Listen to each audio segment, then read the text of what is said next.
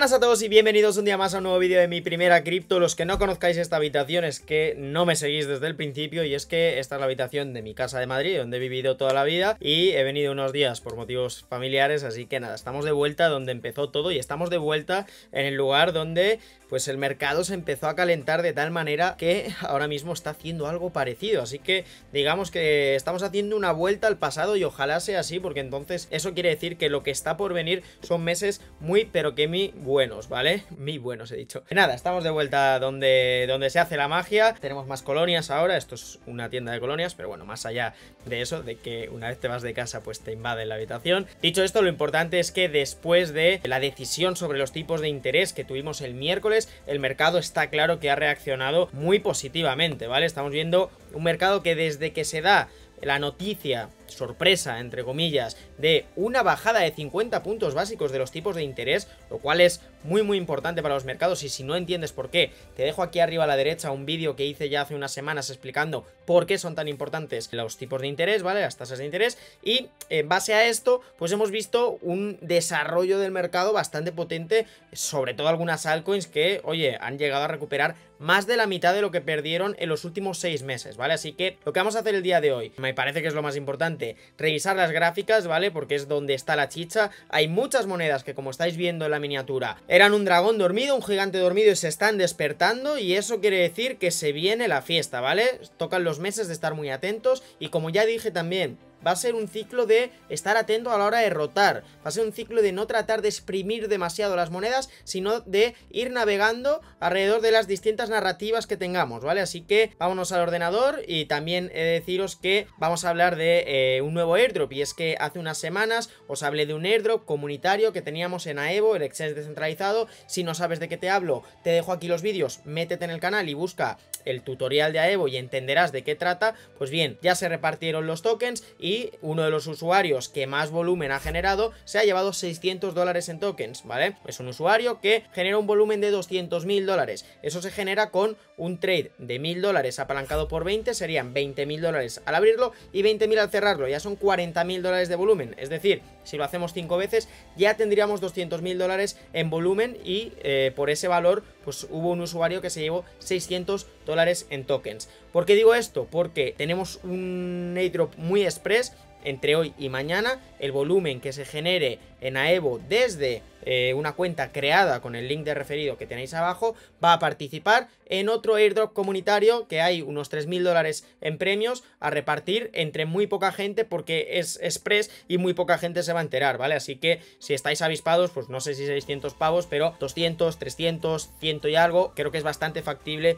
llevárselos, ¿vale? Así que nada, simplemente darle caña y ahora os explico un, un poquito más, ¿vale? Vamos a ordenador, let's go. Vale chicos, en cuanto al tema de Aevo, deciros que lo ideal es que os veáis esos tutoriales porque si no, no os vais a enterar de nada. Aevo es un exchange descentralizado que nos permite operar futuros, ¿vale? De tal manera que lo hacemos desde nuestro Metamask, ¿vale? No tenemos que pasar KYC, por eso la gracia de que es descentralizado, no tenemos que dar ningún dato sobre nosotros. En este exchange, como os digo, podemos operar futuros, aquí veis que podemos operar distintas monedas, pues por ejemplo yo tengo aquí abierto TIA, pero este sería el token que nos van a dar, el token de social. ¿Tenemos que operar ese token? No. ¿Qué recomiendo yo? Lo ideal, operar el par de Bitcoin, que es el par más líquido, es el par más fácil de operar, ¿vale? Así que nos venimos al par de Bitcoin, fondeamos la cuenta, que lo tenéis todo explicado en el tutorial, y el volumen que generéis entre hoy y mañana va a participar en el sorteo, donde recibís los tokens, ¿vale? Que hay gente que a lo mejor ha recibido los tokens del anterior airdrop y ni se ha enterado. Los tokens se reciben en vuestra cartera de Ethereum, ¿vale? O sea, si vosotros estáis operando aquí con la red de Arbitrum, digamos que tenéis una cartera equivalente en la red de Ethereum, pues los tenéis en la red de Ethereum, habilitáis los tokens, ¿vale? Buscáis el contrato inteligente del token de order y del token de SAI y ya os aparecerán ahí. Si tenéis alguna duda, me lo dejáis en los comentarios. Dicho esto, dal de caña, ¿vale? Los únicos requisitos es que os hayáis registrado con mi eh, código referido y que tengáis estaqueados 102 eh, tokens de Aevo, que actualmente son unos 40 dólares. Así que, pues bueno, requisitos bastante sencillos para acceder a un airdrop que creo que está bastante bien. Y ahora sí, como os digo, dicho esto, nos vamos a las gráficas, que es donde está el jugo ahora mismo. Perfecto, chicos, pues estamos aquí en la gráfica de Bitcoin, gráfica diaria, y tengo esto dibujado porque esto mismo fue lo que subí a Twitter el día antes de la decisión sobre los tipos de interés, y os preguntaba cuál creíais que va a ser el camino, si la eh, flecha azul o la flecha roja. Pues parece que estamos siguiendo la flecha azul y no de casualidad, porque no hice que la flecha azul parase aquí porque sí, sino que consideraba que un primer frenazo lo podíamos meter alrededor de esta zona, que es básicamente lo que estamos haciendo. Llegamos en el día de hoy a una vela posiblemente indecisión, en la que ya el mercado pues ha reaccionado a la noticia de los tipos de interés y podemos tener a partir de hoy 2, 3, 4 días de retrocesos y de que, el de que el mercado se calme y se equilibre un poco, ¿vale? Elimino estas flechas que son pues al final simplemente apuestas, ¿no? De hacia dónde puede ir el precio, ha tomado el camino más alcista, vemos que estamos teniendo un intento de ruptura clarísimo de tendencia, porque la tendencia es con mínimos descendentes, aquí tenemos, perdón, con máximos descendentes, un máximo, otro máximo, y esto es un intento de superar el máximo anterior, de momento estamos haciendo equal highs, así que vamos a ver qué tal se comporta, si quiere retroceder bastante, podríamos irnos hasta los 60 mil dólares de nuevo y apoyarnos en media móvil 200 en diario, pero en principio no espero retrocesos mucho más grandes que, nos venimos a gráfica un poco más pequeña, gráfica una hora, no espero retrocesos mucho más grandes de los 60 mil dólares, ¿vale? Aproximadamente entre eh, esta zona de aquí y esta zona de aquí. Más allá de esto no espero grandes movimientos a la baja. Se ha calentado todo bastante, parece que digamos que el mercado ha enseñado sus cartas y a partir de aquí pues ya os digo, viene la parte bonita, viene la parte de la que llevo avisando meses y meses. Llevo todo el verano dando la tabarra y puede ser hasta pesado diciendo que sí, que el mercado está sufriendo, pero que luego llega una noticia tan potente como la decisión sobre los tipos de interés, que llega luego a las elecciones de Estados Unidos, que llega octubre, que es un muy buen mes para los mercados, y de repente todo el sufrimiento del mercado durante seis meses se limpia de un plumazo y eh, se recupera en apenas una, dos, tres semanas, ¿vale? Eso es lo que estamos viendo en monedas como por ejemplo podría ser Tao, ¿vale? Nos venimos aquí a una de las reinas en cuanto a IA, ¿vale? En cuanto al sector o al nicho de IA, que como veis ha recuperado gran parte de toda la caída que llevaba, una moneda que estuvo en 760 dólares, que se fue hasta los 191 y que ya la tenemos en 538 dólares a tan solo aproximadamente un 20, bueno, perdón, un 30 eh, casi un 40% de máximos, ¿vale? Que en otros mercados podría ser mucho, pero eh, si contamos que desde este mínimo pues se ha metido un 138% y si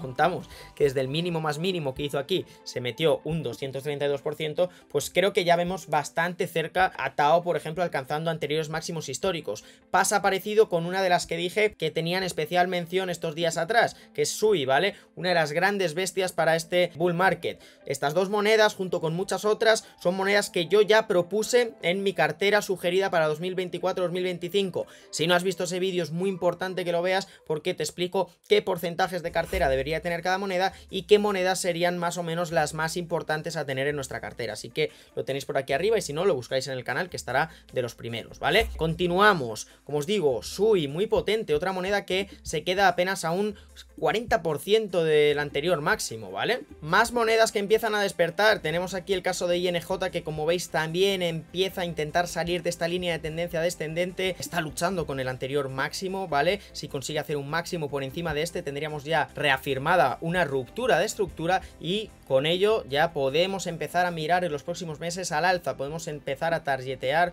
podemos empezar a poner como objetivo el anterior máximo histórico y probablemente precios más altos. Y es que esto lo estamos viendo muchas monedas, ¿vale? Esta ruptura de tendencia de varios meses, aquí estamos hablando de que el máximo se marcó en marzo de 2024 y pues como bien sabréis estamos ya en septiembre de 2024 así que son marzo, abril, mayo, junio, julio, septiembre tenemos prácticamente 5 o 6 meses de tendencia bajista, toda esta tendencia es tendencia bajista y sin embargo pues hay algunas monedas que en cuanto salen y confirman que han salido de esa estructura bajista de repente en una semana y media, dos semanas recuperan más de la mitad de lo perdido. Otra moneda que ya he dicho muchas veces que me gusta mucho y que también está en camino de eh, recuperar gran parte de lo perdido es 0x0 que también sale de línea de tendencia descendente que supera esta zona que sería el anterior o el último máximo y a partir de ahí se pone completamente vertical y es que hay mil ejemplos, ¿vale? Otras como SEI que también salen de la tendencia descendente ya confirman la ruptura de este máximo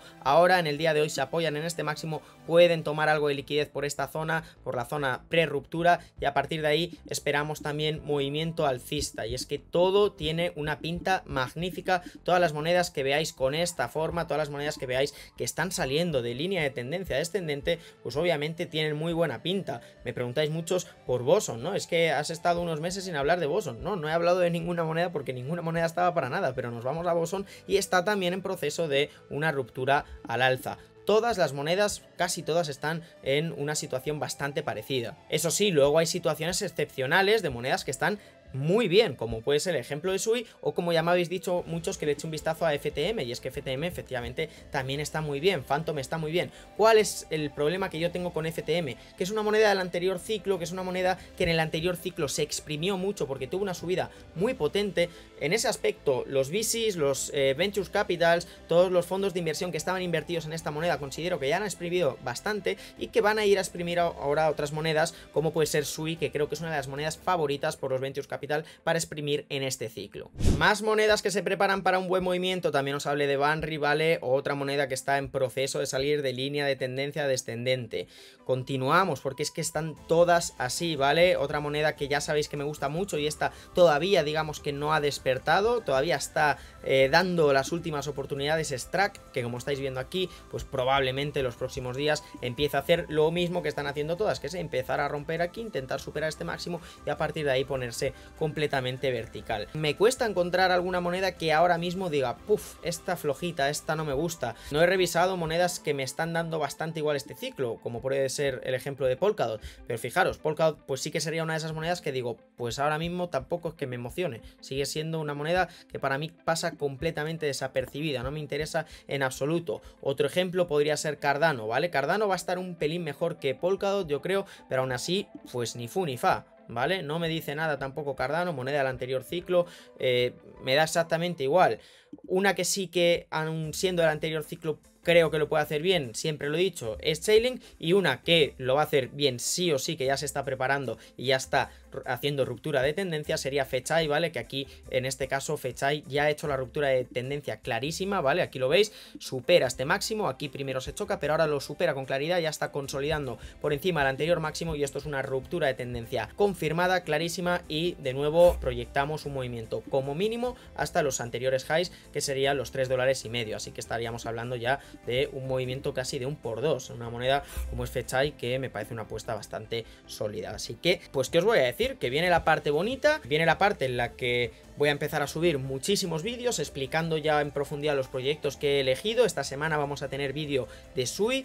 Es uno de los proyectos que más calientes veo ahora mismo. Es uno de los proyectos que más papeletas le veo para empezar a moverse ya con mucha fuerza, para superar máximos y para que lo empezamos a ver a hacer un verdadero bullrun. Hasta ahora no hemos visto una verdadera alt ni un verdadero bullrun, pero quiero subir ese vídeo de Sui para que entendáis el potencial del proyecto y entendáis por qué tiene tantas papeletas para ser una de las grandes monedas en este ciclo ¿vale? Podría ser para mí un poco, eh, todo el mundo la, la posiciona o dice que puede ser equiparable a Solana en el anterior ciclo, pues Pudiera ser, ¿vale? Pudiera ser, vamos a verlo. Perfecto chicos, pues ahí habéis visto un poquito el termómetro del mercado ahora mismo y es que a pesar de que sí podemos tener un pequeño enfriamiento porque han sido unos días bastante frenéticos para el mercado, pues no me extrañaría que sean movimientos simplemente de retesteo, pequeños movimientos bajistas, sin apresurarnos en la parte apalancada, pero creo que estamos en los últimos momentos para hacer compras, incluso creo que algunas ya se han escapado en cierta manera, yo ya no haría compras de Tao, ¿vale? Si no has hecho las compras de Tao, yo ya no las haría, sin embargo, todavía tienes muchísimas oportunidades con otras monedas y si quieres tener Tao, pues bueno, no es ya el momento idóneo, pero tampoco me parece una catástrofe, ¿vale? Porque pienso que tiene todavía muchísimo margen. No obstante, pues ya te he enseñado monedas que están todavía ahí, ahí, al filo de la ruptura, que todavía les queda tiempo, así que vamos a ver qué tal se van comportando todas, pero, como os digo, vienen los momentos más bonitos para el mercado, así que ahí estaremos dando el callo. Muy atentos esta semana, porque tendremos vídeo de Sui y tendremos otro vídeo bastante guay, creo que os va a gustar bastante, ¿vale? Así que, nada, espero que eh, os haya gustado el vídeo, si es así, dejad un un comentario, lo agradezco muchísimo. Nos vemos como siempre en próximos vídeos. Chao, chao.